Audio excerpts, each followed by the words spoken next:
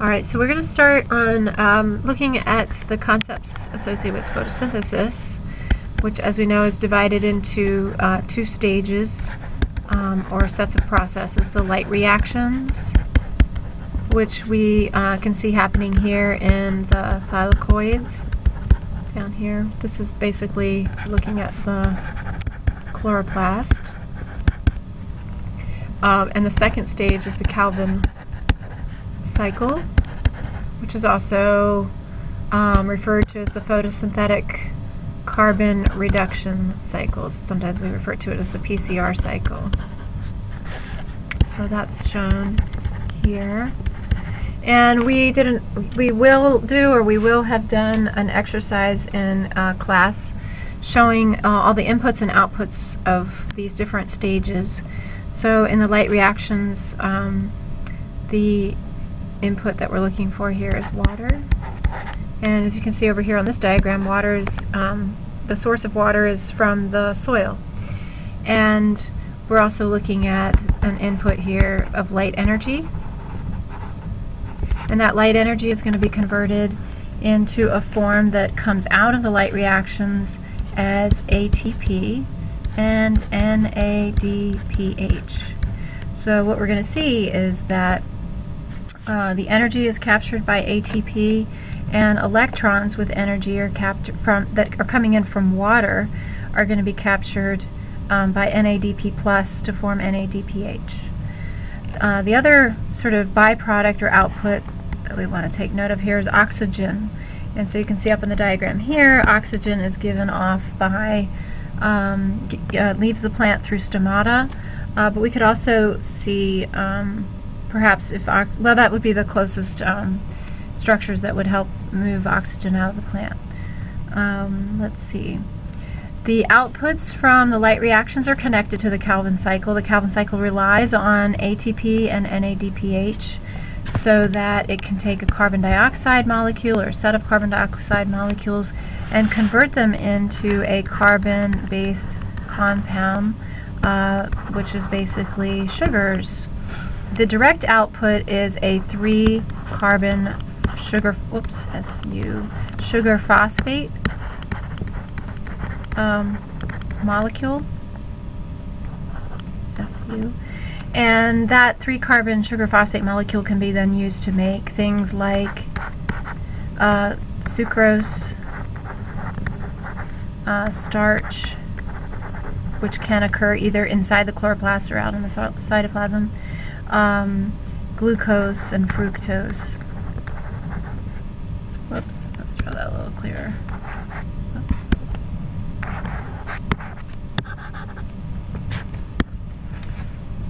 Uh, glucose and fructose. All right. Um, CO2, of course, is coming in over here from the atmosphere um, and diffusing through various structures leading to the stroma of the chloroplast. So the light reactions occur on the thylakoids or um, inside or outside the thylakoid membranes.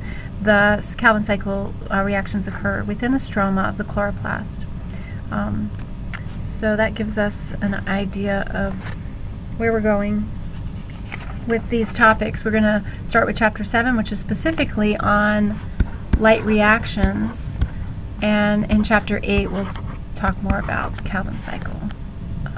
So we're looking now at chapter 7, light reactions.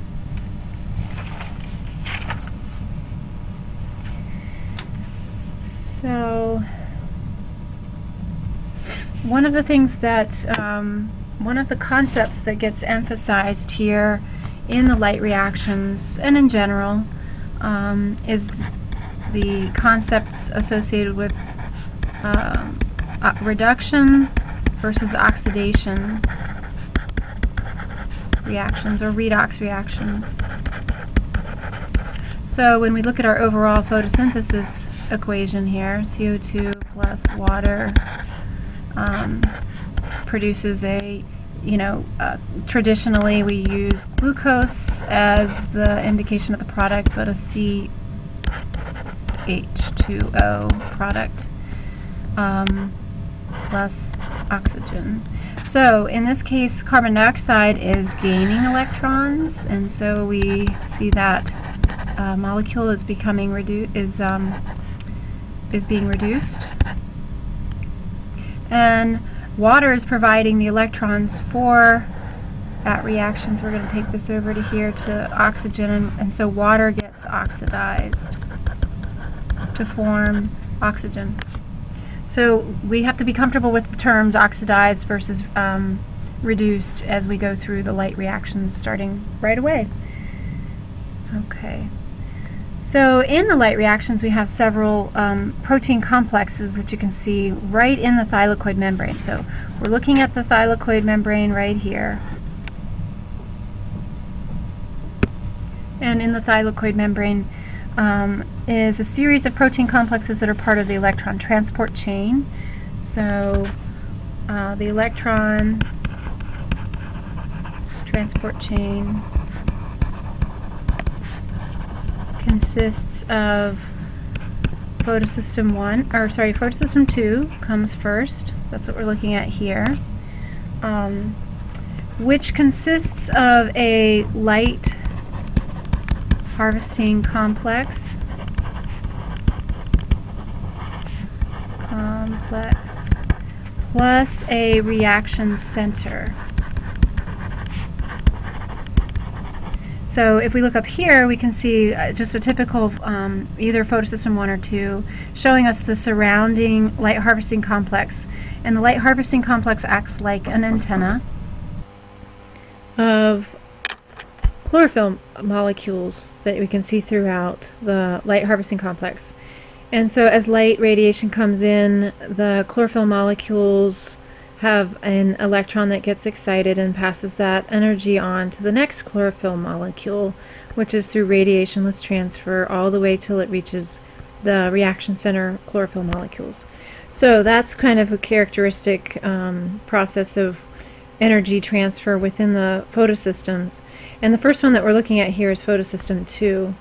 Um, then another component of the electron transport chain is the right here the cytochrome B6F complex.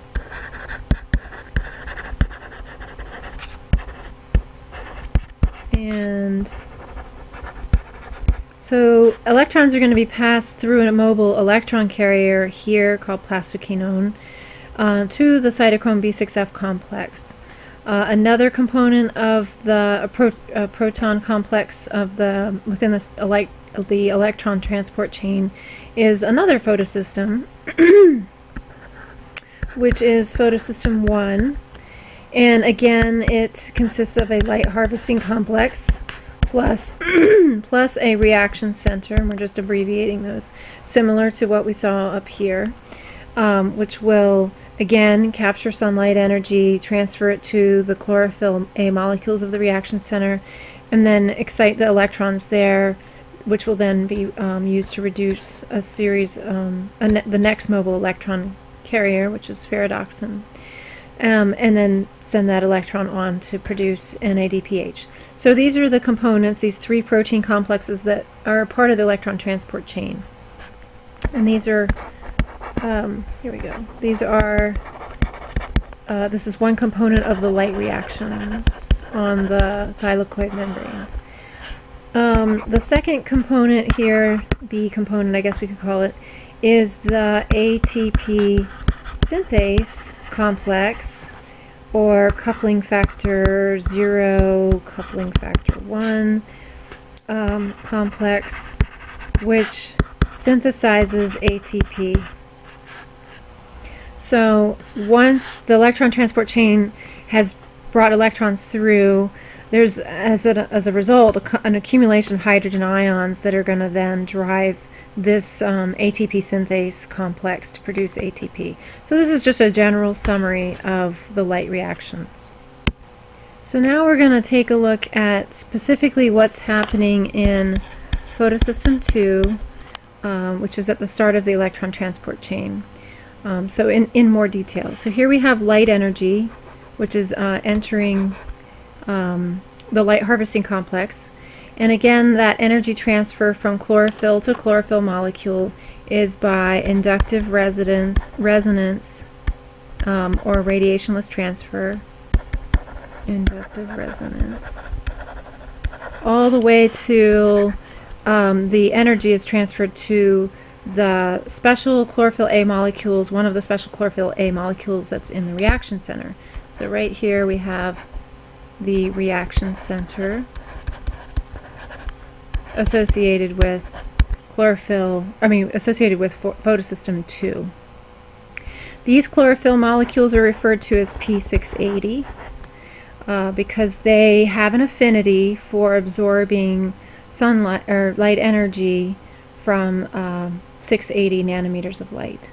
They can absorb light energy from a variety of um, wavelengths within the visible spectrum, but they have the strongest affinity for this light wave, this uh, wavelength of light. All right, so when energy reaches the P680 molecule, we can abbreviate that over here. Um, when energy, light energy comes in, it's going to an, excite an electron and we're going to symbolize that with that asterisk there. So now P680 has an excited electron. And it's going to pass that electron then on to the first uh, electron acceptor, which is right here. We're going to abbreviate it there, which is referred to as pheophytin. And so this is a reduction step. So P680 uh, reduces pheophytin. And now pheophytin has the, um, the energized electron.